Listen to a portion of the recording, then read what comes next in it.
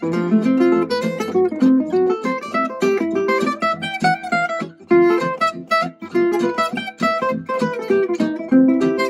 and welcome to this lesson. Today we will take a look at a beautiful gypsy jazz lick based on a turnaround. We will work on the song All of Me, but of course you can play this on any song that features a turnaround as we're to see in a moment. But before we start, if you enjoy this lesson, I invite you to take part to a free 30-day trial of my Gypsy Jazz Guitar Makeover Coaching course. The course is a weekly uh, lesson on a different category of Gypsy Jazz guitar playing every week. So we do uh, Gypsy Jazz chords, we learn licks, we transcribe solos, we learn standards, we learn the theory, and much more. And you also get PDFs, learning resources, tasks to complete every week. You get a replay of the lesson uh, on Sunday in your inbox every week. So anyway, go take a look. It's a great course, and you can join a 30-day free trial with no obligations at all. So let's start.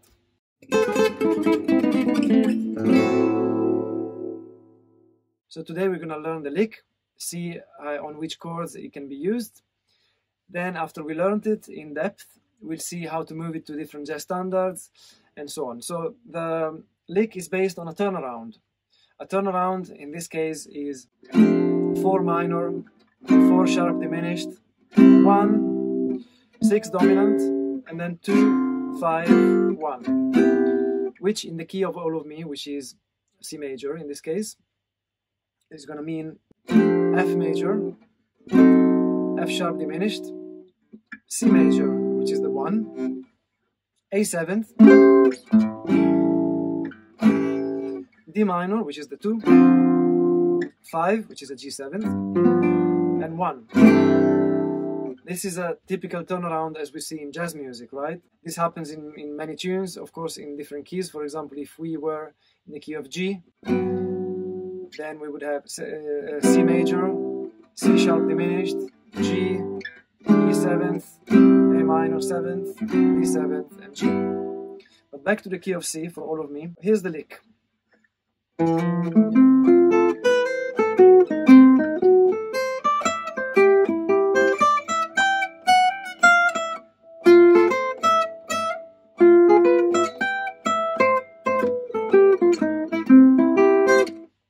How it sounds on the song again.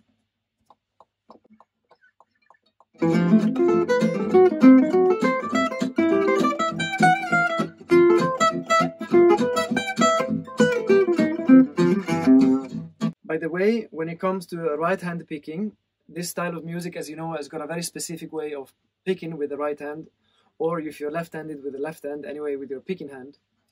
There is a link above with a lesson I've made just to learn this way of picking, so please take a look at that if you need. Uh, and now let's dive into this lick.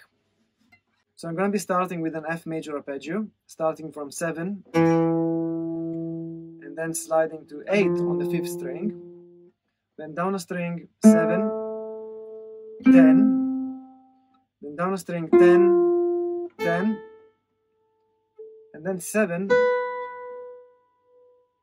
and slide to 8 on string 1. And then up a string. By the way, in the tablatures you can see the picking direction. As you know, when we change string it has to be a downstroke again. But again, I've got a lesson for that, so please go and take a look if you need.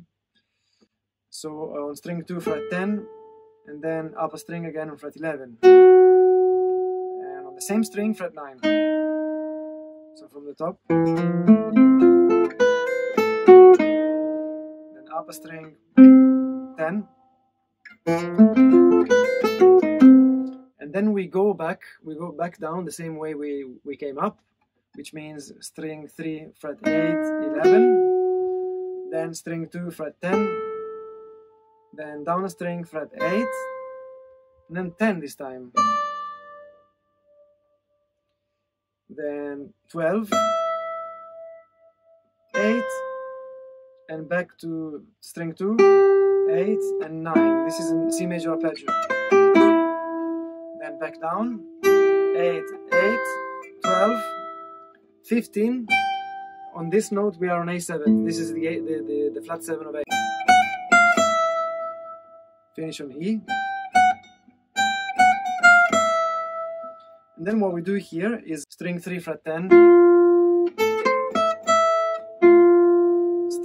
2 fret 10, then same string fret 13 and 12 on string 1. Then fret 10 on string 3, fret 9 on string 2, fret 12 on string 2, and fret 12 on string 1. Then up to 15, 12, finish on 13 of string 2, which is a C note, the 1.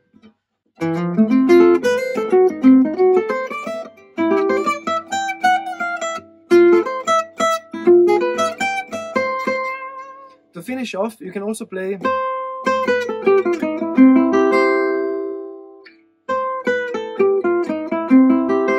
which is string 2, 13, 12, 10 up the string fret 12, 10 and then 8, 9 up to string 4, 8 sorry, 10, 9, 8, 8 so it's quite a long lick. Take your time to learn it one more time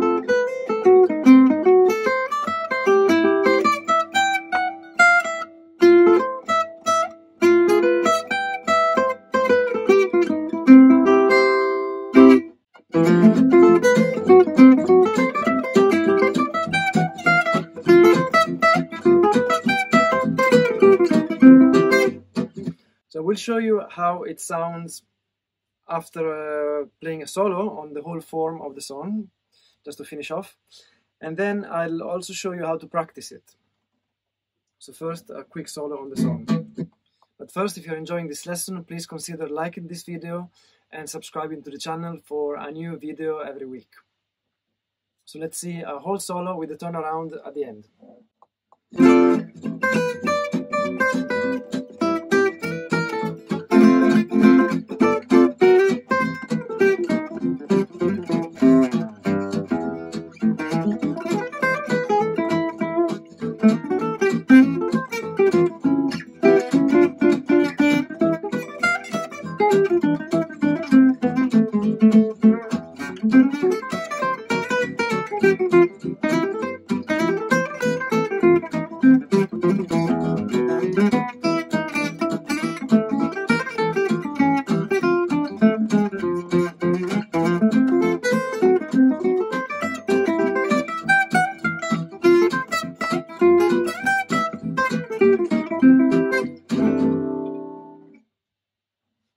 A few ways on how to practice it.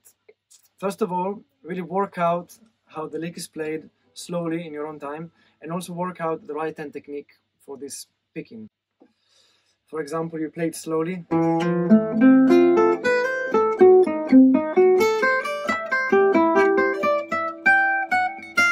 Making sure every picking direction is in the right place. You know, your rest strokes, your downstrokes are in the right place. And again, I've got a lesson about this there is also a link in the description below. So once you have done that, I recommend you do it at 40 BPM. So I'm going to put my metronome on. 40 BPM is the speed that I always do. It really gives you more time to develop muscle memory if you play it slow, and you'll be able to play it fast later on. Also, a great thing about 40 BPM is that it allows you to learn how to relax whilst you play.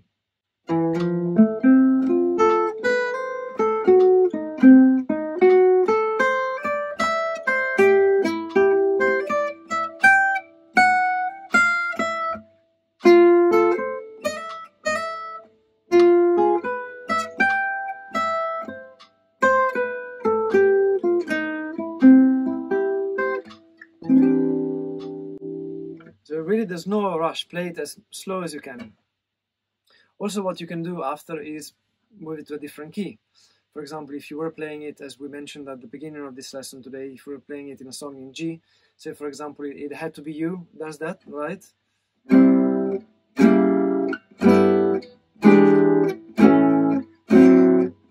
You can play the lick on there. So starting from C, the same exact thing.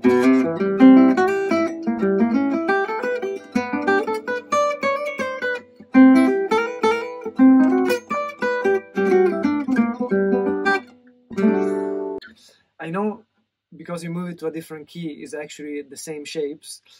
But because the frets change, right, also the visual reference of the dots change on the guitar, it's still great to do it in different keys to get used to different perspective. For example, in uh, we can try it in, in the key of A, right? So that you start on, on fret 5.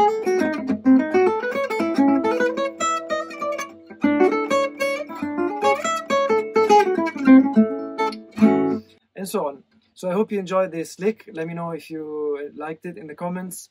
And also perhaps share a video of yourself playing it.